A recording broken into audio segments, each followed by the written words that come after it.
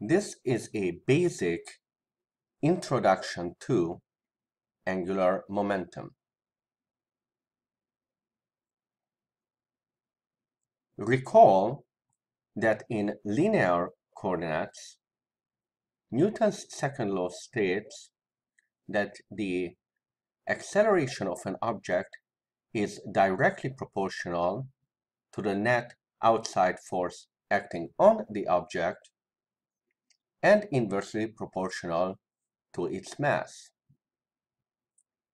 In symbolic form, this was written as F equals ma. Acceleration can be written as the change in velocity divided by change in time.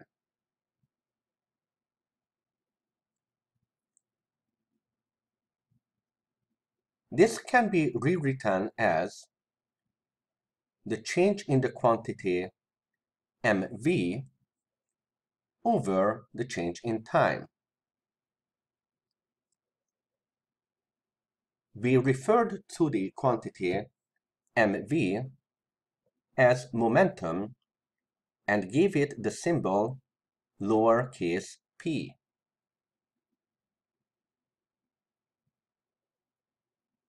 Hence, Newton's second law was rewritten as F net equals delta P over delta T.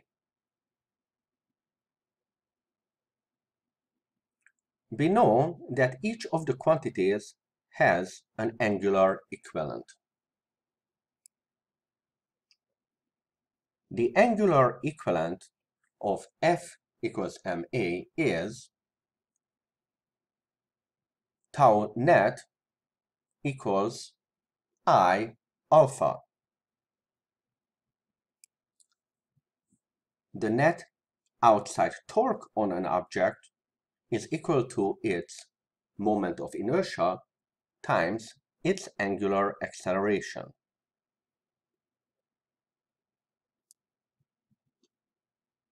Angular acceleration can be rewritten as the change in angular velocity divided by the change in time.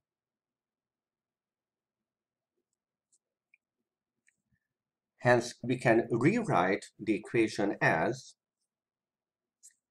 the change in the quantity i omega over change in time.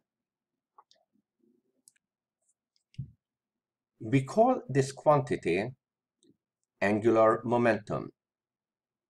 It is designated by capital letter L.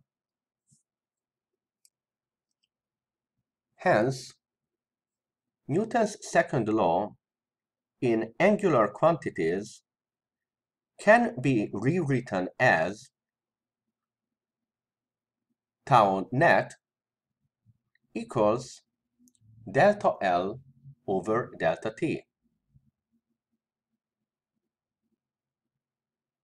Angular momentum is also a vector. Hence, direction matters. Its units will be kilograms times meter squared per second. Like its linear cousin, angular momentum is also most powerfully used in a law called conservation of angular momentum.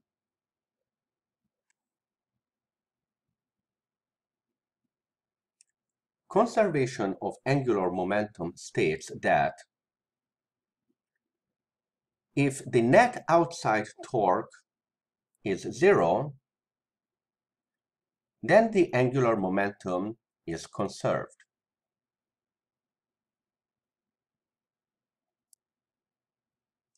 This can, of course, be generalized for systems of objects where if the net torque on the system is zero, then the total angular momentum of the system is conserved.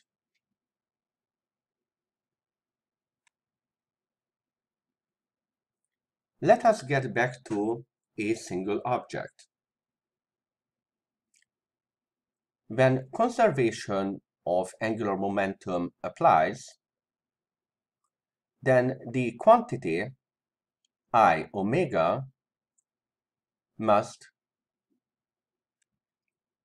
remain constant. This means there is an inverse relationship between moment of inertia and angular velocity. If the moment of inertia increases, angular velocity decreases. If the moment of inertia decreases, angular velocity increases.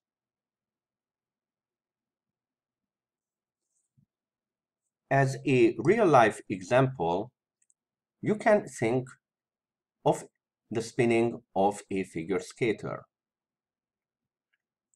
A figure skater often starts their spin with their arms and often legs extended. She then draws her arms and legs in and her spin rate will increase accordingly.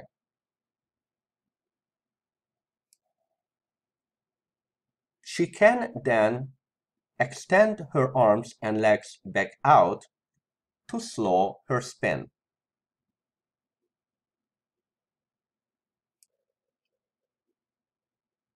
Here is a simple problem demonstrating the conservation of angular momentum. We have a satellite that is approximated as a long thin rod rotating about its center that then extends its solar panels and we want to know how this will affect its rotation.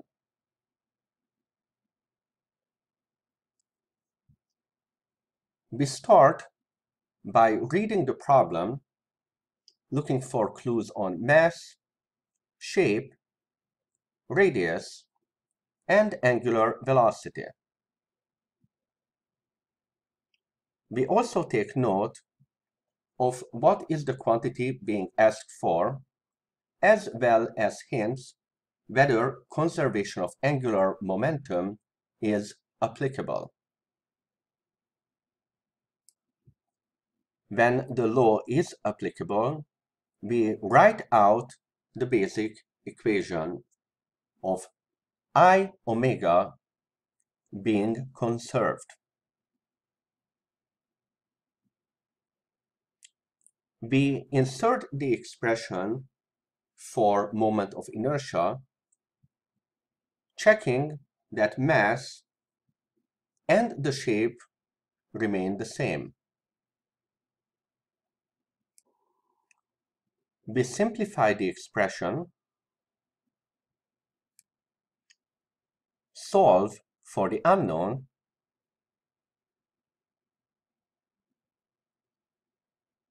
and plug in.